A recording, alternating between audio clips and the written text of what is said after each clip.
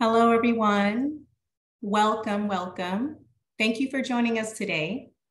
My name is Dr. Lauren Edgar, and I am the Associate Director of Clinical Affairs and Education at the Amyloidosis Research Consortium.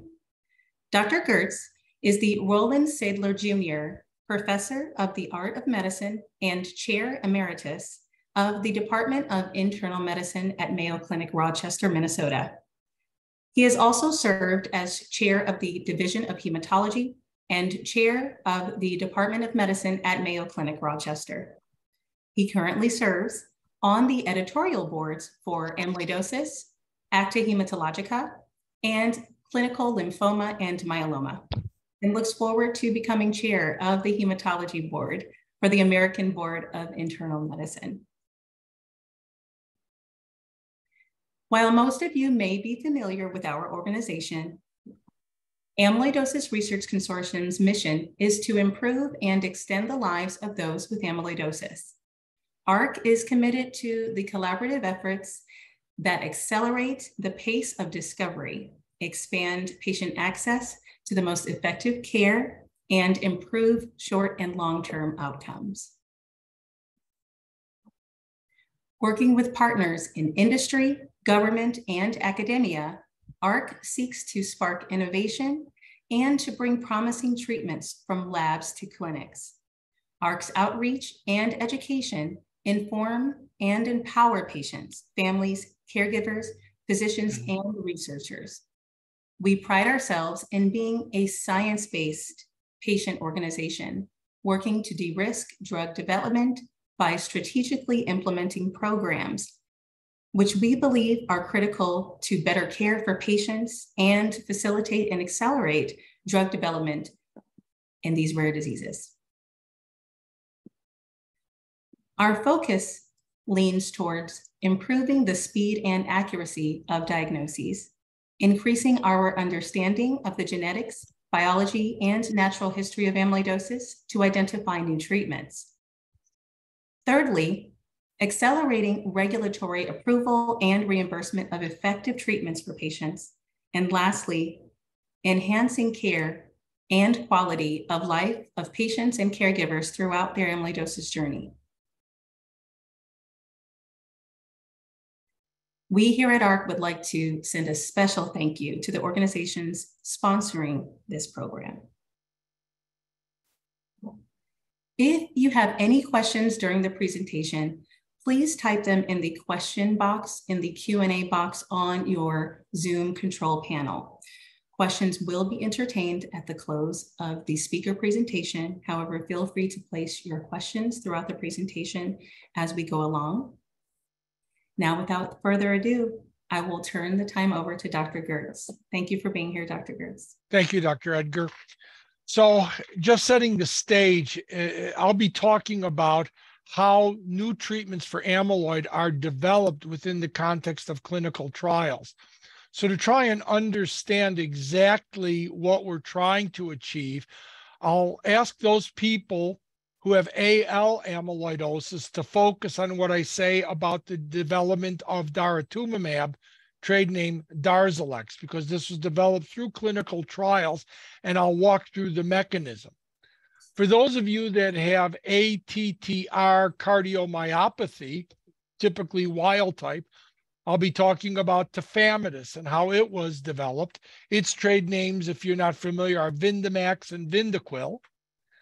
For those patients who have amyloid TTR peripheral neuropathy, the variant or mutated type, the inherited form of amyloid, I'll talk about patisiran, trade name on Onpattro, Tegsedi, trade name inotersen, and vutrisiran, trade name Amvuttra. And so clinical trials, the first question is why clinical trials at all? Why do we need clinical trials? And the real issue here is that number one, all clinical trials have a question to answer. Usually the question is, is a current treatment worth bringing forward? Is there something we're onto that will benefit globally the patient population with amyloidosis? Now, in order to have a drug made available for all of you, it has to be approved by the FDA, and that means it needs to be found to be safe and effective. Then the question is, well, how do you determine safe and effective? And usually that's done through scientific trials. Scientific trials are also referred to as protocols. So sometimes we'll talk about enrolling patients on a protocol. That's just another way of saying a clinical trial. And so it really isn't possible to bring new successful breakthrough treatments to the population without subjecting them to rigorous evaluation in the context of the clinical trials. So that's a necessity. Who's developing the clinical trials? This is very important for you to be aware because clinical trials are usually developed in collaboration with global thought leaders in amyloidosis. The people who are helping design a clinical trial are actually the people who know the most there is to know about amyloidosis worldwide. And they're not in it to design a failing trial. They're in this to try and move the needle forward, help the patient population live longer and live better. So the people who are behind these clinical trials really have a very powerful incentive to do the best that they possibly can for the patients that are ultimately enrolling in these clinical trials. And it should give you a sense of, of ease to know that the people who are involved are thought leaders who are very, very knowledgeable about amyloidosis. Now, anytime we talk about medical research, things can get a little bit touchy because you just kind of wonder, well, wait a minute. Am I being experimented on? Am I a guinea pig? And so I want to outline for you the really extensive federal regulations and protections that exist to ensure that anybody enrolling in a clinical trial has their rights protected that they're receiving the safest possible treatment and that there is a potential for real benefit for these patients. So I talked about Darzalex, Vyndaqel, Onpattro, uh, Tegsedi, and Vutrisiran. All of these came to the market because patients participated in clinical trials. And for some of them, these are patients who received these highly effective medicines four to five years before the general population were able to access them. If you will, they got in on the ground floor of a hot new therapy. And by allowing themselves to participate in clinical trials, they actually availed themselves of benefits that if they had waited for commercial approval can take years and sometimes those delays can result in irreversible problems with regard to your nerves or your heart or your kidneys that might have been prevented with clinical trial in, enrollment. More about the protections. When a clinical trial is activated, if you will, a protocol, it usually is activated at multiple institutions globally. Therefore, it becomes very important that everybody do everything the same way so that the information that we gain is interpretable. This ultimately turns into significant benefit for patients because these protocols specify specifically all the testing that needs to be done before you begin the treatment. So you can be assured, since this has been developed by all these experts, you can be certain that all the appropriate testing relevant to your type of amyloid has been completed before you begin any treatment. In addition, there is pre specified for every patient safety monitoring because paramount in these clinical trials is ensuring that when we're dealing with medicines that haven't been administered to a large number of patients that we understand the safety profiles and the testing that's done to ensure safety also pre-specified. So people on clinical trials can be reassured that they're having state-of-the-art investigations prior to enrollment and state-of-the-art monitoring and all of these pre-treatment tests and monitoring tests again designed by thought leaders around the world saying what is the best way to ensure that a patient with AL or ATTR or mutant inherited ATTR is A, we're getting all the right tests to monitor benefit, and at the same time, we ensure that we're providing the safest possible treatment so that if there are side effects, we can intervene. In fact, for almost all of these trials, there are pre specified dose modifications because most side effects from medicines that we engage in, in in in practice are usually dose related and you can manage those side effects by dose reduction. And these trials actually take away which is a good thing the physician or the provider's discretion and will say you must reduce the dose if you see this side effect. And in fact if you have a serious potential side effect it tells you you must stop the treatment. You must wait for the side effect to resolve before you actually resume treatment.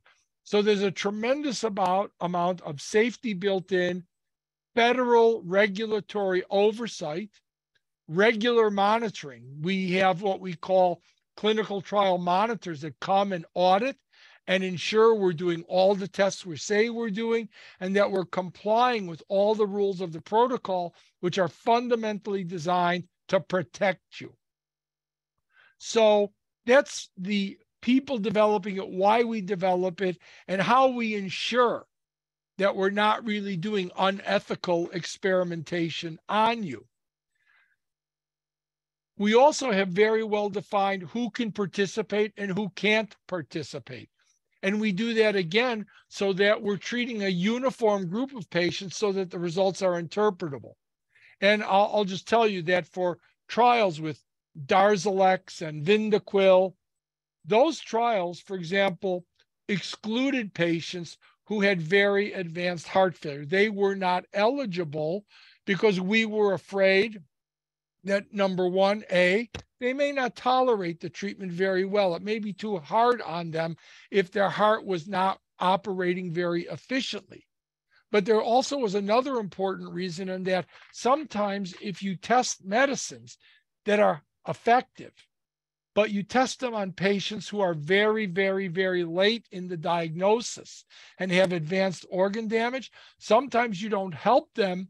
And then you actually miss benefit that might have been apparent for patients with milder disease. So there are guardrails about not having advanced disease so we don't overlook benefit, but also not usually dealing with patients who are symptom free because if you have no symptoms at all, it's hard to measure and say you're better because you were feeling fine to begin with. So there's some minimum and maximum that we do in order to ensure that we can actually say our treatment is working.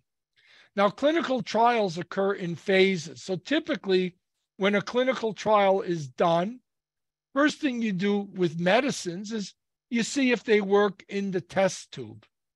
If they work in the test tube and show activity, usually what you will then do is animal studies. Those animal studies can range from mice, rats, to primates also so we can understand the effectiveness, whether there are risks to treatment, and whether what we do need to monitor to be sure we're ensuring safety. But once we get the test tube studies and animal safety data, we're ready to embark on the very first experiments in, these are experiments, but trials in patients. The first trial is phase one. And phase one trials were done for Darzalex, Vyndaqel, Onpattro, Inotersen, and Amvuttra. All of those underwent phase one. What phase one is all about is we have a drug We know it works in the test tube, but we're really not very sure. Well, what's the right dose? And how often should we be giving this medicine? And so, in very early exploration, what we do is phase one to try and determine what's the correct dose. So, typically, what we'll do is we'll start at a very, very low dose. And of course, that's done because we're not 100% certain of the safety profile in people. And we want to be sure, above all, that we don't hurt anybody and we want to be sure that it's safe. So we start at a very tiny dose and we'll give it to three people. Once we give it to three people, the study stops. We don't give it to any more people until we're sure those three people are doing okay after a specified interval, let's say four weeks or eight weeks. And if everything's good, then we can open it to three more people, but at a higher dose. And we'll keep opening and closing, enrolling patients, monitoring for good effects and bad effects. And once we do that, then we continue to increase the dose until we reach the maximum tolerated dose. And we do that as follows. If we treat three people and everybody has no bad side effects, we increase the dose. But if one person in three gets a bad side effect, we take three more at that same dose level. And if the next three do well, so one person in six had a bad side effect, we increase the dose. And we keep increasing the dose until two of six or two of three, if it happens consecutively, get a bad side effect. And then we say that dose is too much and we lower the dose. And of course, we're raising the dose so slowly that the side effects that we see tend to be minimal and, and reversible so that we don't go too high. Now, that's usually the dose that we begin testing, the maximum tolerated dose. Now, in reality, what we're all interested in actually isn't the maximum tolerated dose. What we really want is the minimally effective dose. But the first thing is to find out how much we can give safely, and then we can move forward and fine tune if we can get away with less. So that's phase one. What's the dose? What's the frequency of administration? Most patients who participate in those trials have to have blood tests many, many, many times during because we need to know how long is the medicine in your bloodstream? When does it disappear? that helps us figure out how often we give the medicine. If the medicine is gone in two hours, we're probably going to have to give it once a day, more than once a day. If it disappears in five days, maybe once a week. If it disappears in four weeks, we can give it once a month. The technical term, not important, but we call that pharmacokinetics and pharmacodynamics, integral to phase one studies as we figure out how frequently we do it. When that was done for tafamidis, it turned out in phase one, we never hit a maximum tolerated dose. We gave a big dose. There weren't any side effects. We said that's what we're going to do. For Onpattro, we gave that and we found three weeks. We would have to repeat the dose every three weeks in order to keep the level of the mutant TTR low. The same, and for Tegsedi, the pharmacokinetics said, oh, you have to give it once a week under the skin to keep the levels low, and for Amvuttra once every three months. But in any case, those trials for the different medicines help establish what's the dosing and what's the frequency. And once that happens, you move on from phase one to phase two. So a phase two trial, really now we know what the dose is and we know what the frequency is, and we know by this time the safety profile. We know what to look for. So, for example, if you've been on Tegsedi after the phase one trial, you kind of know you need to check the platelet count once a week and you need to check the urine every three months. And if you're on Darzalex, you have to watch for upper respiratory infections and suppression of the normal, healthy infection fighting antibodies or immunoglobulins. So these are all known, but now we move to phase two. And again, what we're doing is we're now trying to say, okay, now we're going to really drill down on effectiveness. So phase one was mostly dosing and safety, and phase two was effectiveness. In both phase one and phase two, there's no placebo, nobody's getting a sugar pill, everybody's getting treated. And what we're trying to find out with a phase two, for example, is in patients with AL amyloidosis, how often does Darzalex lower the light chain level? In patients who received Onpattro, Tegsedi, Amvuttra, what happens to the levels of TTR in the blood, the amyloid protein? What happens to your neurological disability? And what happens to the quality of your life? As we're measuring these serially to find out, you know, you ask your doctor, well, what's the response rate? How many people benefit? That comes from these phase two trials. 60%, 80%, 90%, 30% comes from the phase two trial. But even when you get a response rate, for most disorders, even that's still not enough to prove efficacy. Then we move to phase three, and phase three is a direct comparison of whatever is the current standard of care to the new treatment. So, when we look at the development of Darzalex for AL amyloidosis, the phase three trial took patients newly diagnosed and untreated and took the standard of care. And the standard of care for AL amyloidosis is chemotherapy to kill the plasma cells in the bone marrow that make the amyloid. That's been the standard of care for 20 years. And the backbone of that chemotherapy is bortezomib, trade name Velcade. So what it did is it took Velcade-based chemotherapy and compared it with Velcade-based chemotherapy with Darzalex.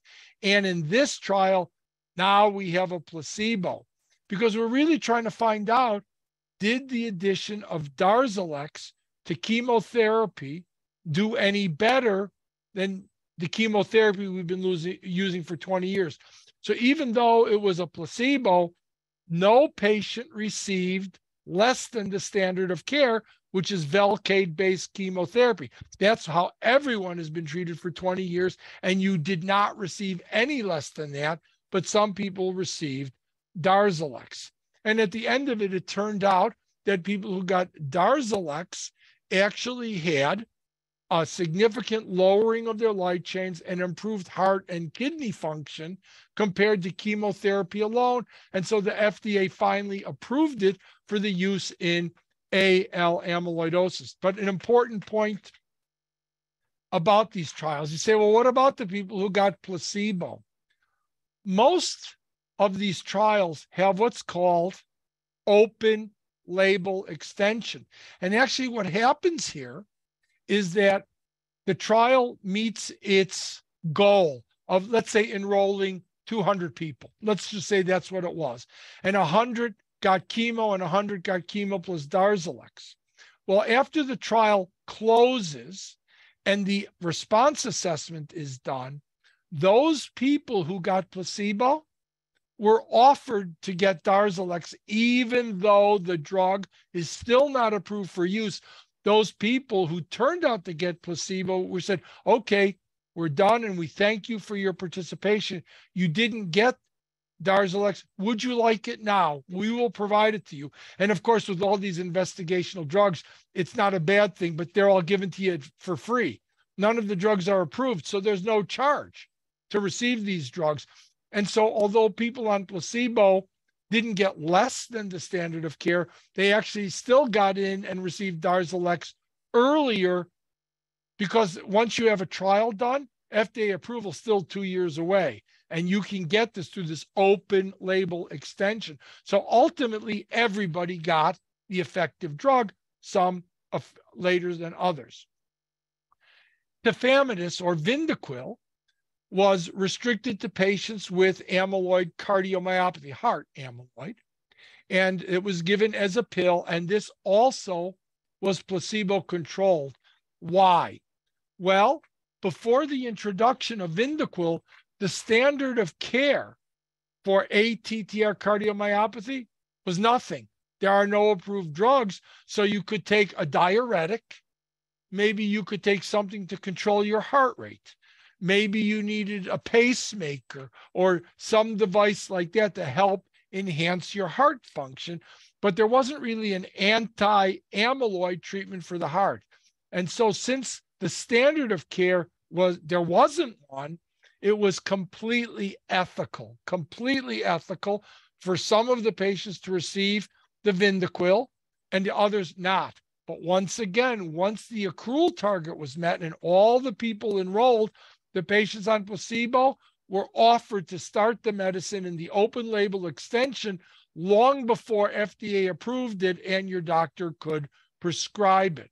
So there you have differences where there's an established care, you get the standard of care like Velcade based chemo, plus or minus. When there's no established care, then you get a placebo because there really isn't any effective treatment known. Finally, for the inherited types of TTR neuropathy, Onpattro, Tegsedi, and vutrisiran, Amvuttra, they were all the same as well. Prior to their introduction of these gene silencers, the treatment for this type of neuropathy was liver transplantation. Well, that's just not something you just, oh, sure, I'll go do that. You're going to think pretty hard about that when you're instead offered a shot. And what was done in these gene silencing trials, again, since there really wasn't a standard of care, since the number of people who got liver transplants was very, very small in this population, was again, there was a placebo control. So they compared Onpattro to placebo, Tegsedi to placebo. However, at the end of 15 months, when the trials were done and the quality of life and the six minute walk testing, the endpoints of the trial were done, every single patient was offered the drug. So if you were on placebo, you could start the drug. If you weren't on placebo, you wanted to stop the drug, you could, but almost nobody did. They said, oh no, I'm staying on it. That's fine. And again, I like the price at zero. And so these patients received, whether they were on placebo or not on placebo, received very, very early access to really blockbuster treatments that revolutionized the treatment of this type of amyloid, essentially eliminating liver transplant. Now, I'll just talk a little bit about Amvuttra. That's the second generation drug for inherited amyloid. And the other one that's not approved yet is eplontersen, which is the successor drug to Tegsedi. So those trials, this is important. Now, in one arm, you receive the Amvuttra or the eplontersen, but the other arm wasn't placebo anymore because now we have an established therapy. So now the established therapies Onpattro and Tegsedi. So that was the comparator arm for those patients. Nobody gets a placebo once there's an established treatment. So what the non-treatment arm looks like depends on what's available.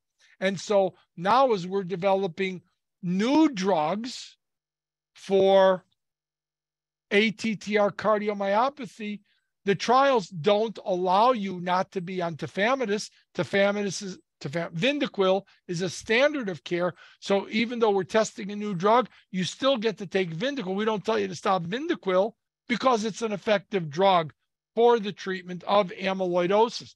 So actually what happens is the bar keeps getting higher and higher as we develop new treatments because once you have an established treatment, placebo would be unethical. No doctor would agree to enroll patients on the trial. Now, some of you may wonder, how do I find out about clinical trials? Well, the ARC has a navigator that you can access that will give you clinical trials. The master file is clinicaltrials.gov. One word, clinical trials, no spaces, .gov. You go there, you type amyloidosis in, it will list every single clinical trial registered globally for the treatment of amyloidosis.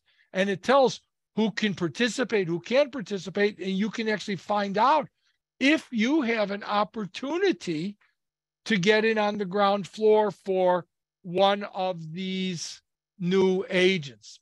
So, briefly, before I go on to the questions, I'll just mention a little bit. So, where are we right now with clinical trials? And there are so many because the research in amyloid is so active. I don't know all the trials, but there are a number of very important trials that are underway.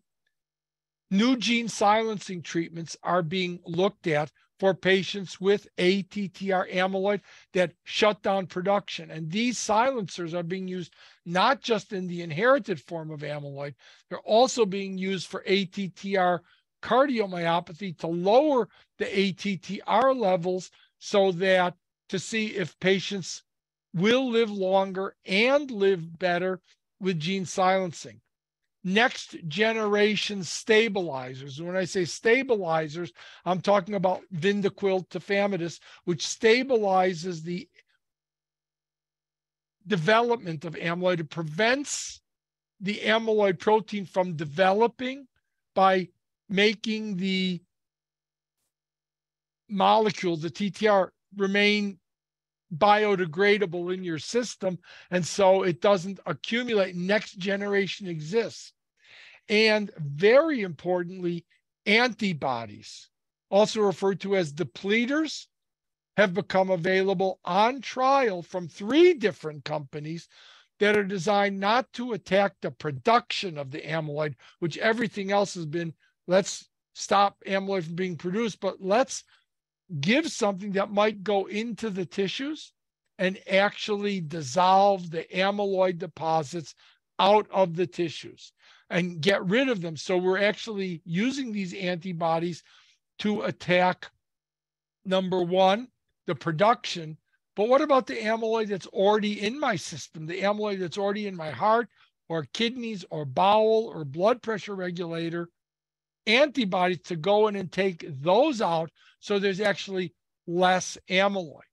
And of course, I focused on treatment. Most people are interested in treatment, but that's not the only types of clinical trials for amyloid.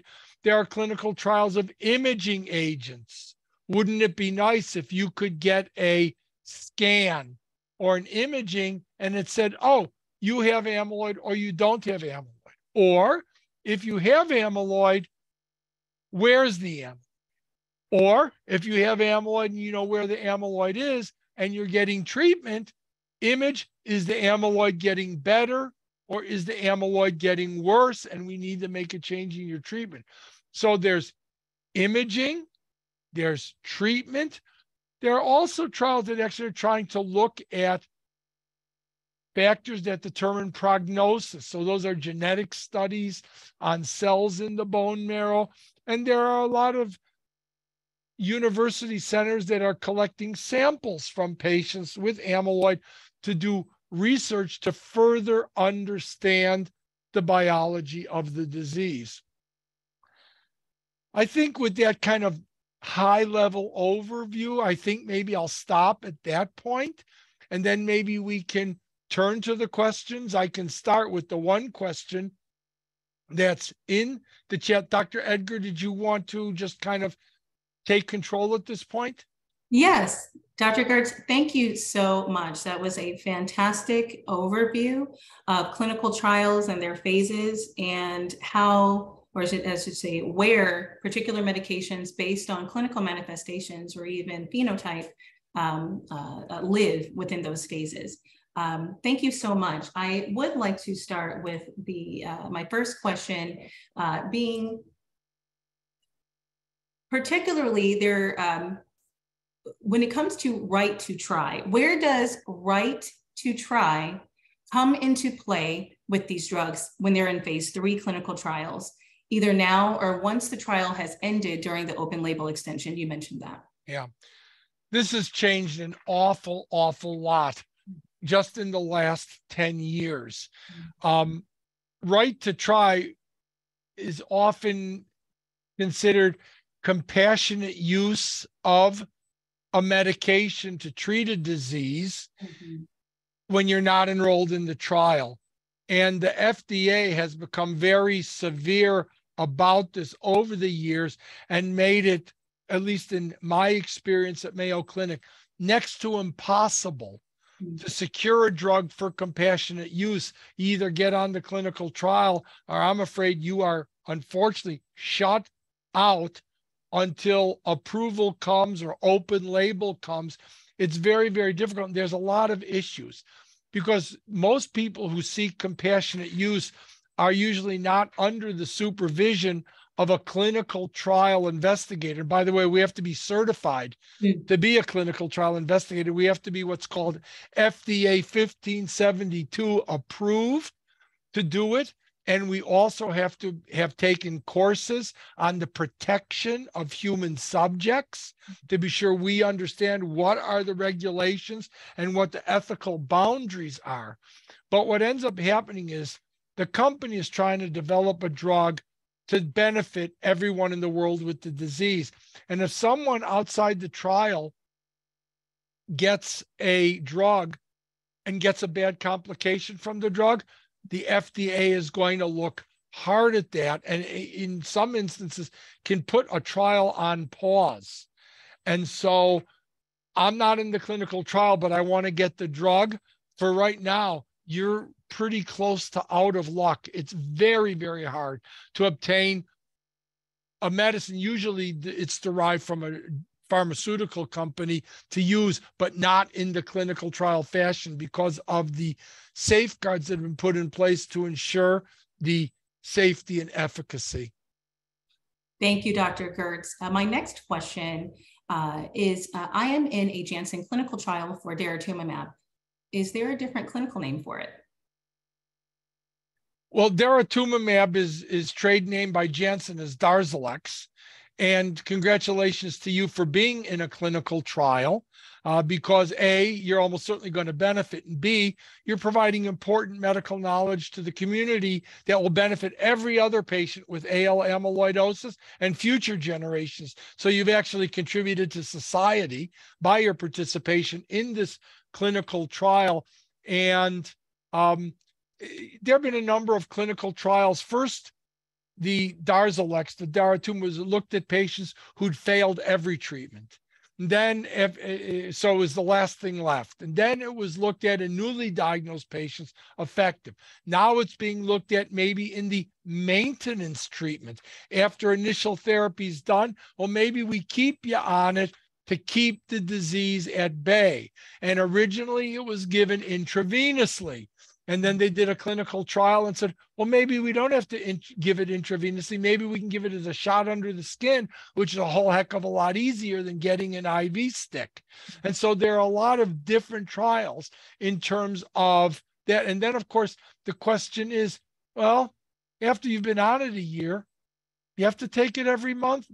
Maybe we could take it every two months or every three months and look and see if we can get away with a little bit less. And so all of those are legitimate questions, but there's no way to answer them without your willingness to enroll yourself in a clinical trial. So thank you.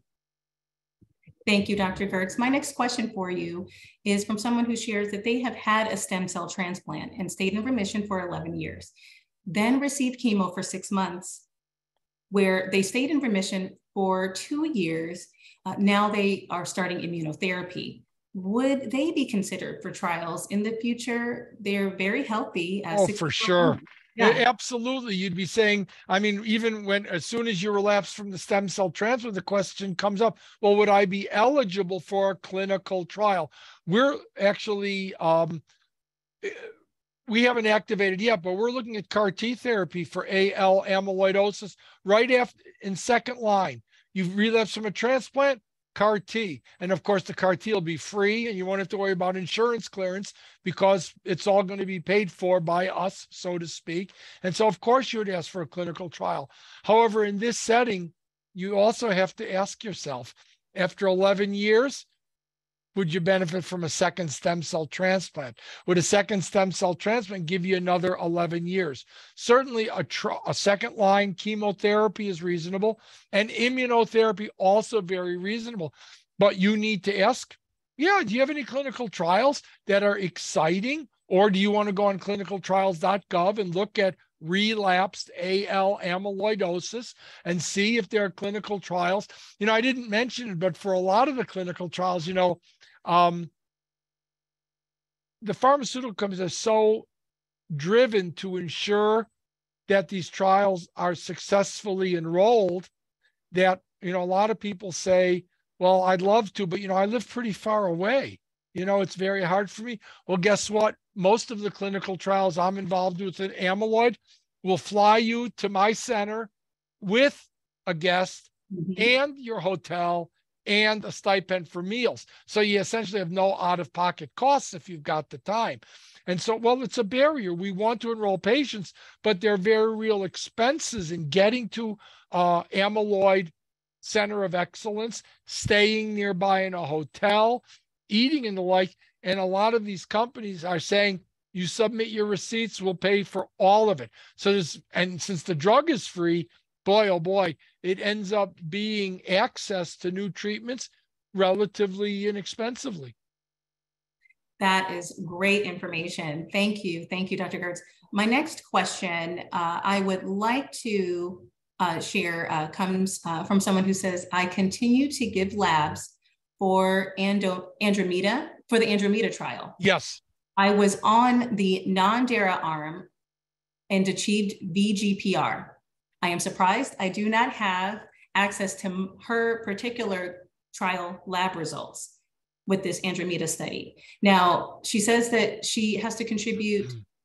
blood twice uh, in order to get her own results. Can you expand on yeah. how trials are written? So right. So uh, yeah. this person raises an extremely important point. So first of all, Andromeda was the trial that led to the FDA approval of Darzalex for amyloid. And although Darzalex was on average better by percentages, this individual was fortunate enough to achieve a VGPR without Darzalex. So that was terrific. Um, so you, you got a great response. Um, you're one of the very fortunate ones that got it without Darzalex. It, the really, what it really ended up is that uh, with Darzalex 60%, without Darzalex 30% roughly. It's not like zero. So a third of patients really got deep responses like you did. Now here's the problem. This Andromeda trial went on in about 40 different countries at about 200 different medical centers. The endpoints included blood light chain level, urinary protein level, levels of the heart blood tests, troponin and NT-proBNP measures of how efficiently your heart's working. Now, what's facing when you're going to the FDA is how can you be sure that the blood test results are exactly the same at all 140 centers? That if the light chain is 30 at your center, it won't be 40 at the other center or 15 at the other center. So to overcome this, what they'll do is they'll have central laboratory where all the blood from all the participants has to be mailed to one laboratory in the world and they run every sample for the purpose of the trial evaluation. But that stuff ends up going to the central lab and you don't get those results. So you often end up with a second set of blood tests that your doctor locally is doing so they can track in real time what's going on. So there's two tracking going on the central lab for the trial, but of course, your doctor needs to know what your white count is and what your urinary protein and your potassium and your kidney. They need to know not in two weeks and the central lab reads it out. They need to know today before we give you your treatment. And so you end up with this dual. So that is a little extra, I'm afraid, when you clinical trial, because you do end up sometimes with double testing. It doesn't happen. So, for example, with echocardiogram, You get your echocardiogram. The echocardiogram goes on a DVD. The DVD is mailed to a central echo lab and they read it off the DVD. But the blood tests, those you your blood is actually shipped wherever the central lab is so that all analyses for all patients were done by the same group. Dr. Gertz, thank you. That was a very uh, thorough answer. Thank you so much for taking the time with that one. Um, the next question uh, is related to a particular variant, ALECT2. Will there be research done, or are you aware of any emerging research yeah. going to be done for new therapeutics for ALECT2? So, in university laboratories, mm-hmm. ALECT2, which is for those of you don't, it's it's a form of kidney amyloidosis. It appears to be restricted to specific ethnicities. It's a very uncommon form and almost never is diagnosed without a kidney biopsy. That is not one you're going to figure out until you get a kidney biopsy with mass spec. That's required. And it's generally a surprise diagnosis. It's an extremely, extremely rare form of amyloid. And although in the basic science laboratories, there's work being done on how it misfolds and the like. When you look, and I looked at clinicaltrials.gov, I actually could not find a single therapeutic trial for ALECT2. Most patients ultimately, after a period of time, the most common treatment is kidney transplantation. Mm-hmm. Mm-hmm. Thank you, Dr. Gertz. Thank you. My next question that I have for you is how do you participate in clinical trials if insurance denies coverage? That's a great question for which there is not a great answer. Um, I've been around and around quite a bit with insurance companies where we're not paying for research, you know, and you try to talk to the people and say, okay, we're talking about a drug that you will pay for that costs $250,000 a year. I'll put the patient on a clinical trial and they'll get medicine for free and you will save $250,000 and they'll go, no, we don't support clinical trials that are our policies. So with insurance companies, if you're looking for logic, you're over assuming. It's very, very difficult. There are policies that say we won't support research. There are some that'll support phase three, but not phase one or two. Some will support phase two and three, not phase one.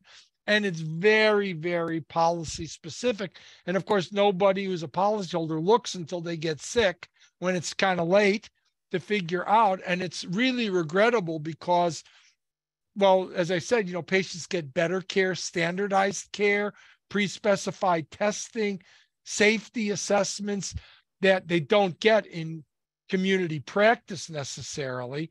And so it becomes, you know, a, a, shame. But sometimes you write a written appeal to the insurance company and point out the logic of allowing them to participate, which for an insurance company means in the long run, you're going to save money. It will cost you less because, I mean, insurance companies are not a charitable organization you know they're either mutual with uh, policyholders or they're publicly traded and they have shareholders and that means they need to make money and so they're trying to reduce their expenses and sometimes the easiest way is to show them that clinical trial participation reduces expenses but at the same time sometimes these policies are written in granite and you just no matter who you talk to physician directors case managers, sometimes you can't get approval, regrettably. Thank you, Dr. Gertz. With uh, in relation to, I'll start first with uh, clinical trial enrollment. What can you share with regards to clinical trial enrollment that's available in the US versus those who are outside of the US who would like to participate? For instance, they're in South America. Right. So there's a couple of issues that, for example, healthcare economics play an awfully, awfully big role. And there are circumstances in the United States where there is so much access to effective therapies that patients aren't interested in a clinical trial. in countries where the healthcare economics are not as robust, sometimes the choice is participate in a clinical trial or get nothing because it's unaffordable. And so, what often occurs is that you'll find out that clinical trial accrual in South America, Eastern Europe is better than it is in the United States because the choices are limited. I hate to say it, but it's true that the development of drugs for AIDS wouldn't have occurred if not for Africa. All of the development, most of it, occurred in Africa because there was a large population of HIV positive for whom it was trial participation or no therapy at all. And so underserved populations sometimes have a strong incentive to participate in clinical trials. And I, I know certainly in South America, where there's a lot of AL and a lot of variant ATTR, there's been tremendous success in providing new drugs to patients. There are very large centers in Brazil and in Argentina. And again, since they'll often fly you there, you can access these highly effective agents. Thank you so much for that, Dr. Gertz. My next question has to do with ceasing of clinical trials. This particular individual says that their husband has been participating in the CAEL 101 clinical trial for amyloidosis yep. for the past two years. It has been working. Her husband has seen success where amyloid has dissolved. Now, they did just learn last week that they are being con- they are considering ceasing the trial. Is there anything more you can expand on that? Probably not. I mean, you'd need a press release, or you'd have to go look at the Caelum website. But uh, again, congratulations for enrolling and for deriving benefit. But you know, clinical trials stop for two reasons. One, the trial has already been analyzed, it is a success. We're stopping enrollment and we're going to the FDA to get it approved so everybody can get a hold of it. The second possibility is they've done an interim analysis and it wasn't a success and people didn't you see, you can have some people benefit, but when you look at the aggregate numbers, large numbers, there might not have been benefit. And they'll say, well, we're going to close the clinical trial because we're not helping our patients and it's wrong to keep them on treatment. I can't distinguish from that statement whether trial closure means success, we won, or we didn't succeed. Sometimes clinical trials, when they say close, it doesn't mean close, it means They've met their accrual targets. No new patients will be allowed to enter the trial, but patients on treatment will continue to be followed for the pre specified interval so that we have a better understanding of late outcomes. And so people stay on treatment, but no new patients can enroll. It could be any one of those three. I'd go to the Caelum website and look at Caelum 101 and see because press releases are allowed to be put out before any type of scientific publications appear. Thank you for that, Dr. Gertz. I wonder if that will inform individuals who perhaps have been on Vyndamax uh, for uh, one and a half plus years. Uh, that way, perhaps maybe they can, that'll help them to tell if the drug is effective or not. I, I would definitely go to Pfizer and look at that Vyndamax website to see uh, where things are because they usually will they're actually required to put out these releases blunt for the venture capitalists and the shareholders to have up to date fully public information Thank you, Dr. Gertz. Uh, my last question uh, that I'll uh, ask of you, and again, thank you for a wonderful, a wonderful hour. Uh, this next question uh, is from someone who says their father has ATTR wild type cardiomyopathy as manifestation. Could you explain a little bit more about the new antibody treatments that dissolve amyloid deposits, particularly? Well, a, a number of groups are looking at it. Um, uh, Prothena is mm-hmm. looking at antibodies. Attralus is looking at antibodies. And I think looking at clinicaltrials.gov uh, about that, there are no commercially available antibodies to dissolve amyloid deposits you need to enroll in a clinical trial. And when we talk about particularly promising, I don't know. That's why we do the trial. And that's why we do phase three trial because you can't, you know, know in advance what's going to be a massive success, like the drugs I mentioned, and which ones turn out to be not worthwhile of further pursuit. But there's the way these trials are designed, there's almost never a downside of participating. Right now, you're getting nothing. So if you go on a trial with an antibody and it doesn't work, you're at the same place you started. And if it does work, wow.